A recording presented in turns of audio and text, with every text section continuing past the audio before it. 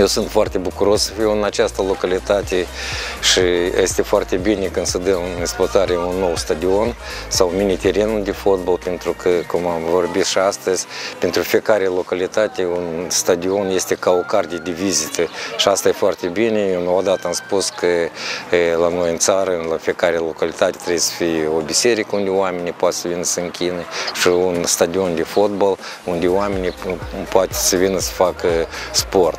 Această comună Grătiești a avut foarte mari și are tradiții fotbalistice pentru că mulți fotbaliști ca așa ca Pătraș, ca Aurel Frunze, ca Barbaroș, care a jucat la selecționată Moldovei și în cele mai bune echipe la noi, Moldova, mulți campioni a Republicii Moldova sunt din această localitate. Și asta este ca o pildă ca să-i atragă pe fotbaliști să joace fotbal. Și noi sigur că este sarcina noastră, Federației Moldovenești de Fotbal, a oamenilor care conduc aceste localități, să le facem aceste condiții pe care poate noi sau veteranii fotbal la Moldova la timpul lor când erau ei fotbaliști nu le-au avut. De ce acum copiii de la noi din țară au toate condițiile, nu mai trebuie să lucreze, să învețe bine și desigur că poate nu o să ajungă mari fotbaliști mulți, dar pentru sănătate, pentru viața lor în continuare, sportul o să le ajute foarte mult.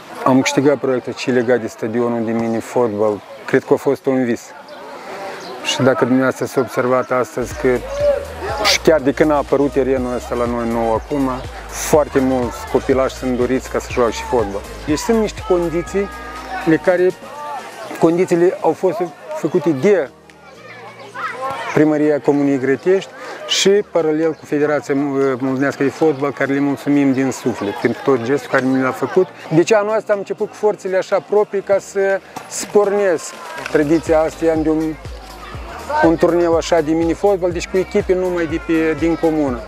Dar pe anul viitor, dacă ne-a dat Dumnezeu sănătate și să vrem ca să deci să invităm echipe, să facem un turneu așa mai interesant, mai activ, ca, mă rog, să fie, să fie ceva plăcut pentru toți, pentru, și pentru fotbalul moldovenesc.